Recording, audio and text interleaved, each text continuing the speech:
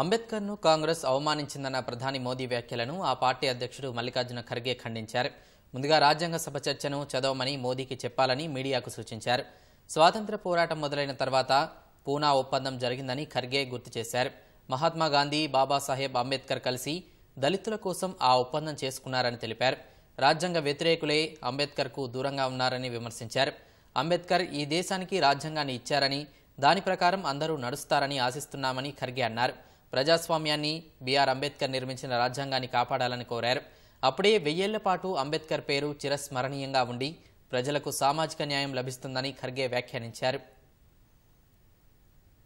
पहले उनको constitutional assembly के डिबेट पढ़ने के लिए बोलो जो स्वतंत्र आंदोलन शुरू हुआ उसके बाद में जिस ढंग से पुनः पैक्ट हुआ गांधी जी ने जिस ढंग से बाबा साहब अम्बेडकर मिलके जो दलितों के लिए जो एग्रीमेंट तैयार किए, वो भी जरा पढ़ो बोलो। इन्हों तो बाबा साहब अंबेडकर के नज़दीक नहीं आते थे।